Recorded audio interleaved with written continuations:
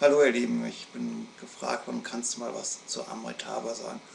Amritaba, die es nicht kennen, ist das Mutterhaus unserer Lichtzentren in Ribeauvillé im Elsass. An der schönen Weinstraße zwischen Weinbergen eingebettet, schaut es hinüber zum Schwarzwald, den Rhein, nach Deutschland. Es ist ein Lichtzentrum, das heißt ein Zentrum in der Kultur des Agni, in dem täglich Meditationen abgehalten werden, täglich Bhajans und Kirtans gesungen wird, in dem der Lobpreis des Göttlichen uns durch den gesamten Tag begleitet. Die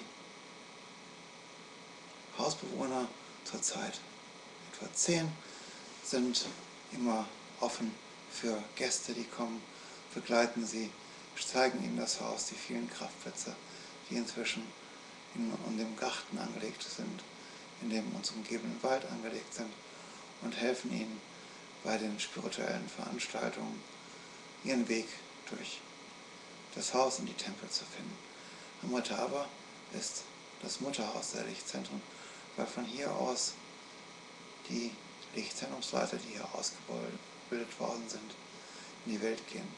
Aber auch weil es auf einem alten Schöpfungstempel steht. In einem Schöpfungstempel, der vor 20.000 Jahren noch ein Tempel des Feuers war. Ein Tempel der Kreation. Ein Tempel, in dem Schöpfung aus dem Himmel einfloss und die Energiebahnen half, auf der Erde auszubilden, auf der wir heute, auf denen wir heute in das neue Zeitalter schreiten. Diese Bahnen werden gerade erst entdeckt, sie werden neu belebt. Sie tauchen auf wie die alten Schöpfungstempel aus ihrer Zerstörung der letzten 20.000 Jahre auftauchen, um neu zu entstehen, neue Schöpfung zu gebären. Wer also nach Amritava kommt, wird immer daran erinnert, dass es einen Schöpfer gibt, dass es Schöpfung gibt, an der wir teilnehmen dürfen, die direkt mit uns spricht, die ihre Geheimnisse uns offenbart, die uns in ihre Arme nehmen will und sagen, du auch Kind der Schöpfung, nehme an uns teil, verbinde dich wieder mit der Natur, höre die Stimme deines Herzens und du hörst auch die Stimme deiner Umgebung. Und in der Stimmung deiner Umgebung hörst du die Stimme des Schöpfers, der durch allem spricht.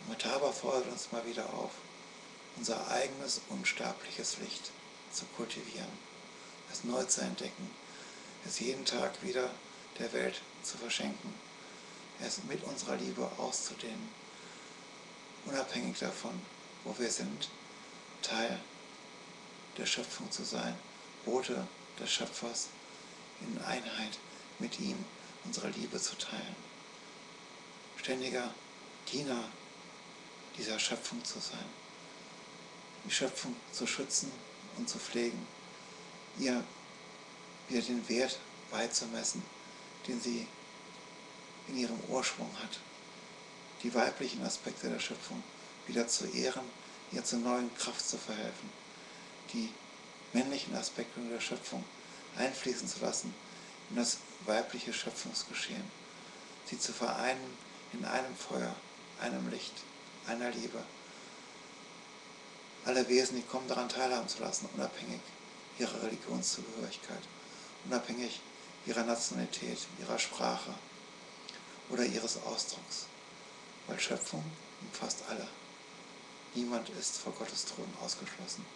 Alle sind willkommen, alle zu Hause. Deswegen kommt nach Amutaba und seid willkommen zu Hause.